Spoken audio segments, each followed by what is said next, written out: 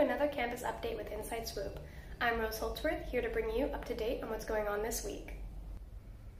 Are you looking for a pet friendly fun this spooky season? Canine Social in Riverside has the event for you.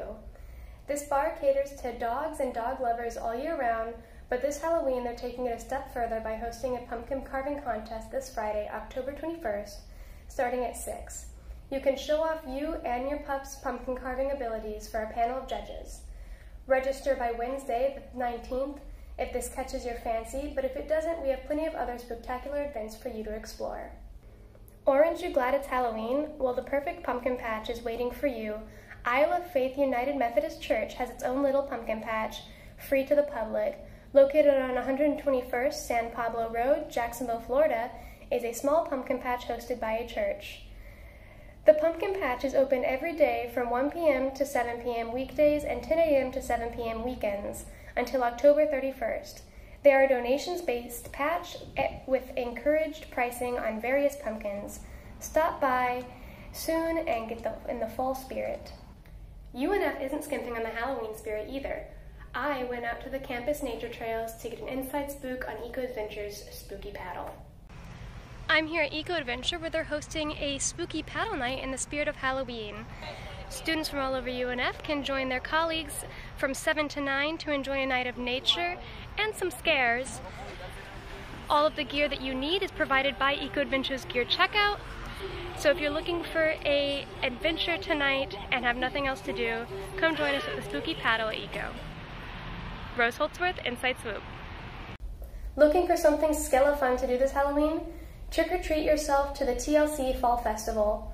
The TLC Student Affairs Committee will be hosting the festival on Wednesday, October 26th from 11 a.m. to 1 p.m. in Building 57, room 1100A, for students and faculty in the TLC department. Plenty of fun festivities are planned for this year's event, including the mini pumpkin decorating, children's book character costume contest, and of course, lots of spectacular free food. For more information, contact Ada Adrian Malik at amalik at unf.edu. Want to get out for Halloween? Well, look no further than the beach. It's time for the second annual Halloween pop-up at Jacksonville Beach, Sunday, October 30th.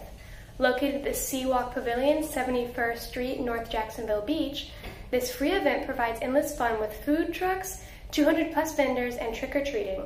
You can even show off your creativity and join a costume contest. Get ready to get scared sheetless. 13th Floor Haunted House Jacksonville is back on its fifth consecutive year. It's that time of the year again. Located in Regency Court, the world famous 13th Floor Haunted House is opening back up to scare people of all shapes and sizes. From creepy crawlies to chainsaw wielding madmen, Jacksonville's biggest haunted house has a variety of ghoulish attractions that are sure to knock you off your feet.